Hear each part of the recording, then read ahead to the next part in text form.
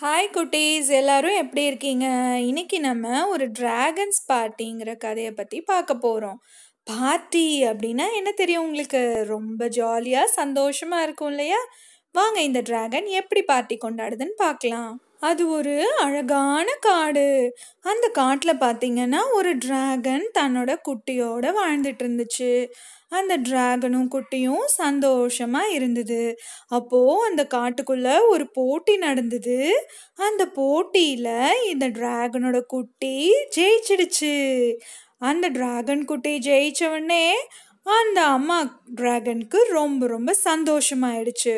உடனே அந்த குட்டிக்கு ஒரு பார்ட்டி கொடுக்கணும்னு நினச்சிச்சு. அதனால் தன்னோட ஃப்ரெண்ட்ஸ் எல்லாத்தையும் கூப்பிட்டு பார்ட்டி நடத்தணும்னு நினச்சிது. அதனால் தனக்குரிய ஃப்ரெண்ட்ஸான பேர்ட்ஸ் எல்லாம் ஃப்ரெண்ட்ஸாக இருந்தாங்க. அவங்க எல்லாத்தையும் பார்ட்டிக்கு கூப்பிட்டுருந்தது எல்லா ஃப்ரெண்ட்ஸும் பார்ட்டிக்கு சும்மா வருவாங்களா? நீங்களே சொல்லுங்கள் இல்லை நிறைய கிஃப்டோடு வந்தாங்க. அதுக்கு முன்னாடி இந்த டிராகன் என்ன செஞ்சு தெரியுமா?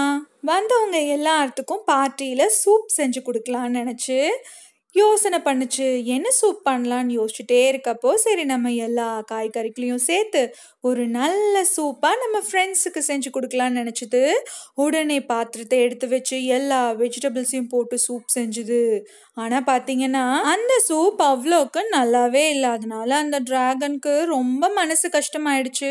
சோகமாக உட்கார்ந்துருந்தது. தன்னோட ஃப்ரெண்ட்ஸ் வேற வர நேரம் ஆயிடுச்சு ஃப்ரெண்ட்ஸுக்கு பார்ட்டியில் எப்படி சூப் ப்ரொவைட் பண்ணுறதுன்னு ரொம்பவே கஷ்டமாக உட்கார்ந்துருந்துச்சு. அதோட பேர்ட் ஃப்ரெண்ட்ஸ் எல்லாம் வீட்டுக்கு வந்துட்டாங்க. அந்த டிராகன் சந்தோஷமாக இருக்கணுமே ஏன் இந்த டிராகன் சோகமாக இருக்கு அப்படின்னு போயிட்டு பேர்ட் ஃப்ரெண்ட்ஸ் எல்லாம் கேட்குறாங்க உடனே டிராகன் சொல்லுது உங்களுக்கு பண்ண சூப் இப்படி ஆயிடுச்சு டேஸ்ட்டே இல்லைன்னு வருத்தப்பட்டுச்சு. அதுக்கு தன்னோட காக்கா ஃப்ரெண்ட் என்ன சொல்லுச்சு தெரியுமா? டிராகன் நீங்கள் எங்களோட பெஸ்ட் ஃப்ரெண்ட்னா உங்களுக்கு நிறைய கிஃப்ட்ஸ் கொண்டு வந்திருக்கோம். நாங்கள் எல்லாம் கொண்டு வந்திருந்ததை போட்டு நீ அந்த சூப்பில் ஆட் பண்ணி கூட நம்ம எல்லாரும் சேர்ந்து சாப்பிட்லான்னு சொல்லுச்சு. அந்த காக்கா டிராகனோட பார்ட்டிக்கு என்ன கொண்டு வந்துருந்துச்சு தெரியுமா? லிசார்டு பள்ளியை கிஃப்டாக கொண்டு வந்தது. இதே மாதிரி அந்த பார்ட்டிக்கு வந்திருந்த பேரட் வந்து டிராகனுக்கு ஒரு பரிசு கொண்டு வந்தது. அது என்ன தெரியுமா?